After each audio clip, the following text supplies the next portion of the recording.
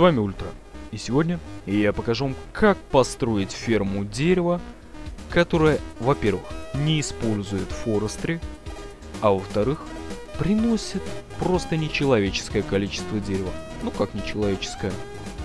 Около 10 стаков в час. Что нам потребуется? Рельсы, улучшенные нажимные рельсы, вот так. Затем менеджер груза. Замечу, что это все мод Steve's Cards 2. Нам потребуются такие вот железные панели. Вот панель сундука делается вот так. Два бревна и 7 досок. Затем панельки обшиваются железом, а дальше покажу на примере боковых сундуков. Большая панель из четырех вот таких маленьких, а огромная из 9, ну, как блок.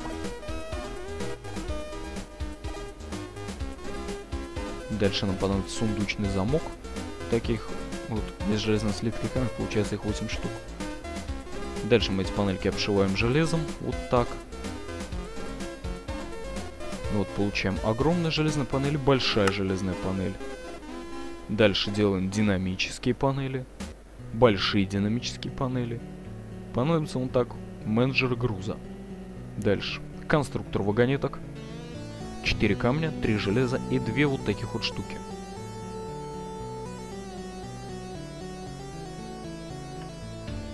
Дальше угольный двигатель. Печка, 2 поршня и 5 железа. Простой лесоруб. Пяток вот таких вот лезвий. Железный слиток и вот такое вот ядро большая печатная плата и 8 саженцев, неважно, кстати, каких, в каком порядке. Делается большая плата вот так, из двух маленьких вот такого вот стаффа. Обычный корпус. Просто железная вагонетка, но с колесиками. Замечу, что приделать колесики к готовой вагонетке не выйдет. Боковые сундуки я уже показывал, а это для второй части туториала. Давайте-ка, кстати, посмотрим, что нам приносит ферма.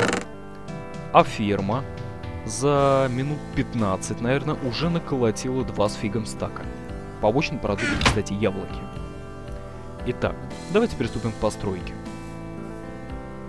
Ставим улучшенный нажимной рельс и делаем вот такие вот отводы. Неважно в какую сторону и на сколько блоков, от этого зависит лишь размер ферм ну и, соответственно, ее производительность. А больше от этого не зависит ничего. Ставим менеджер груза где вам угодно. Я поставлю вот здесь, потому что здесь у меня ферма, и, соответственно, большую ферму я не сделал. Запоминаем цвет вот этого квадрата. Он важен. Ну а пока попробуем собрать вагонетку. Для этого нам понадобится и сборщик. Нет, лучше дождь. Вот он. Сначала кладем корпус, затем лесоруб, боковые сундуки, конструктор и угольный двигатель. Неважно, в каком порядке вы это сделали. Жмем «Собрать», ждем некоторое время и получаем модульную вагонетку. Ставим ее на пути. Неважно, в какую сторону она будет смотреть. Это не важно. Дальше. Строим, собственно, ферму.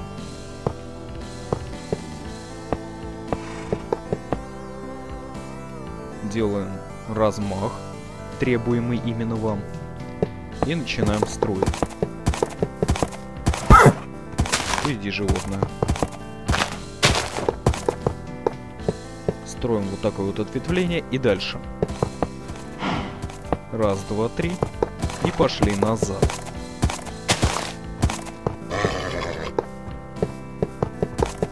Не доходя двух блоков, поворачиваем опять три блока. Так, чтобы промежутки между линиями змеи были два блока.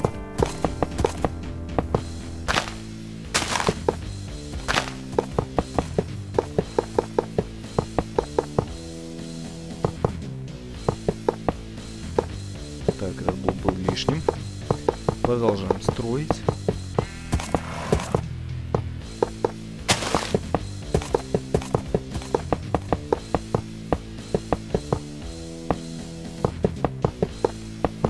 Пока не едет.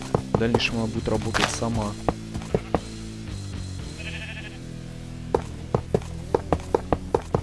Замечу, что траву придется выкашивать везде, где нужно. Проложить рельсы, потому что иначе саженцы не будут сажаться там, где это необходимо. Снова три блока.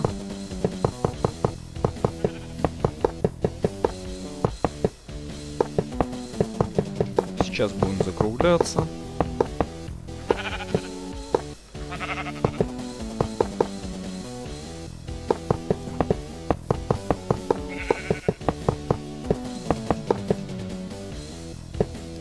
Собственно, площадка для фарминга готова.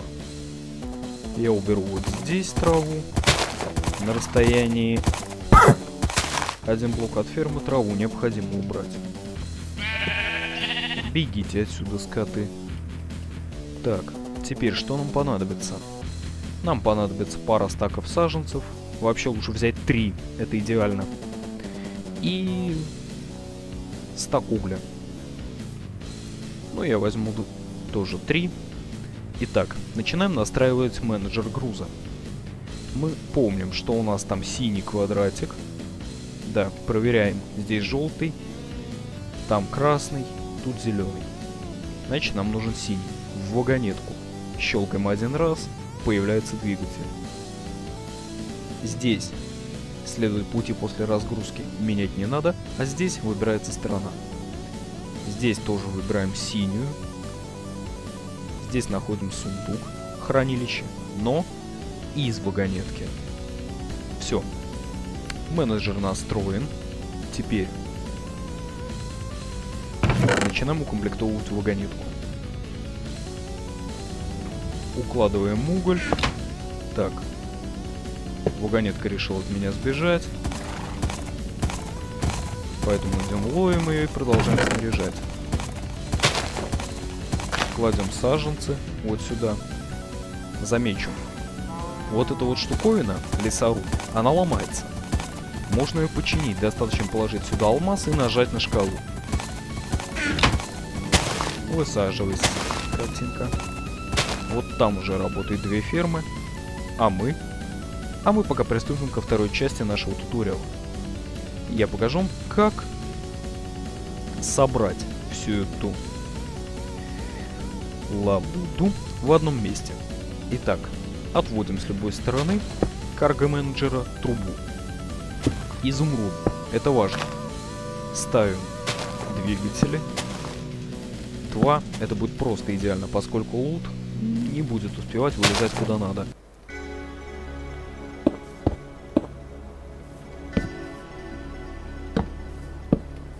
Я сделаю вот так. Теперь начинаем настройку. Нам понадобится яблоко и образец древесины. Переводим в режим «Не блокируется», то есть в режим белого списка. Труба будет доставать только то, что указано в ее фильтре. Теперь дуб и яблоко нам не нужны. Проверяем настройку фильтра.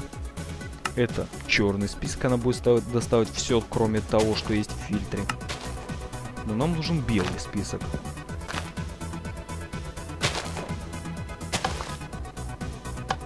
Делаем вот такую вот хитрость. Я немного схитрю. И заставлю таки вагонетку срубить дерево.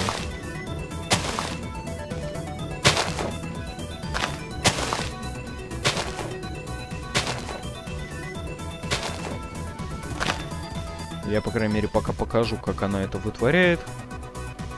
Проблема вот в чем. Попробуй ты ее найди. Вот. Она пилит дерево.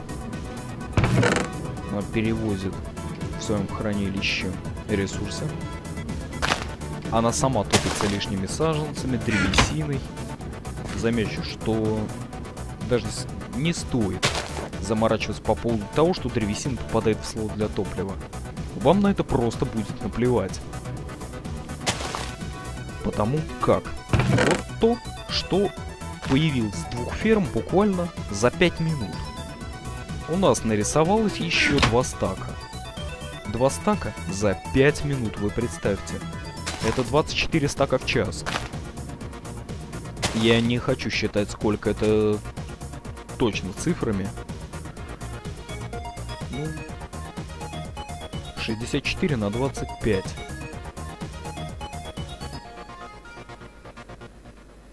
Тысяча шестьсот. Согласитесь, что 1600 единиц древесины в час это очень даже. Это очень даже. Вот. Машинка сама высаживает, как ей надо. А когда саженцы кончится, она просто полетит к менеджеру разгрузки. Саженцы у нее кончится еще не скоро. Поэтому она будет сажать до тех пор, пока не издохнет.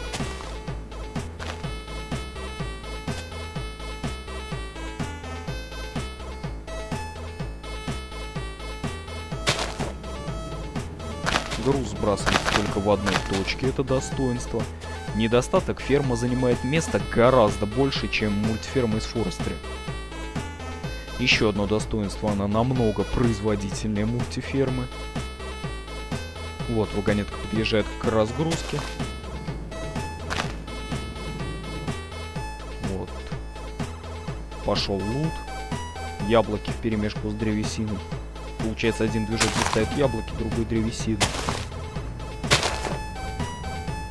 Вот за один заход она набирает практически 3 стака дерева. А заход длится в среднем 5 минут как раз. Учитывая время на срубание и все такое прочее. Наиболее выгодно выращивать дубы, потому что только они могут расти стенкой. То есть вот так. То есть дальше вот так вот. Даже несмотря на то, что ферма высаживает их в шахматном порядке, они все равно идут стеной. Березы так не могут. Тогда придется делать вот так, чтобы они не росли стеной. Тропические деревья не увеличатся, поэтому будет просто вот такая вот маленькая штучка. А ели, ну, то же самое, что и с березами, по сути. Придется делать вот так, с узкими переходами в один блок. А здесь можно делать два блока. Тем более это экономит рельсы. Но единственное, что она будет таки потреблять какое-то топливо. Хотя топливо мне пришлось на моей памяти подложить только пару раз. Потому что после запуска она только один раз успевает потребовать топлива и все.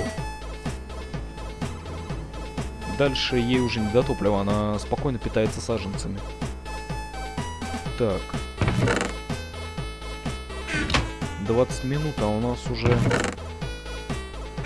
моим прогнозам 8 стаков это будет.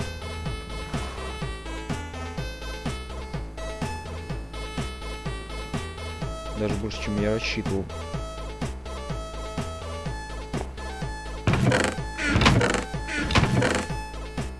Таким образом, с трех ферм я смогу грести древесину лопатой. Ну, по крайней мере, больше одной мне никогда не требовалось. Как вам? Не знаю. Всем спасибо за просмотр, надеюсь, что вам понравилось. Подписывайтесь, ставьте пальцы вверх, комментируйте. Ну а пока, пока.